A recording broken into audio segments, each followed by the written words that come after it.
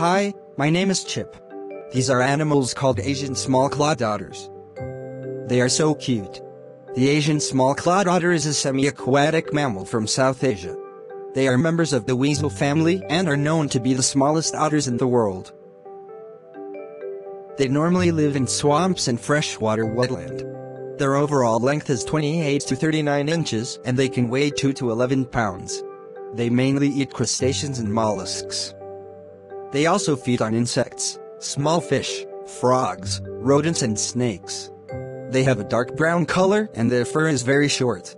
What's interesting, when they dive underwater, their heart rate and oxygen consumption is reduced. They conceal their nose the ear canal when underwater. They also have great eyesight in and out of water. The female gives birth to about 1 to 6 pups per litter. Pups don't open their eyes until they are about 40 days old. They learn to swim about 60 days old and they start eating solid food about 80 days old. Both the male and female take care of the pups.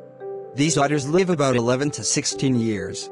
The otters in this video are from the OdySea Aquarium located in Scottsdale, Arizona.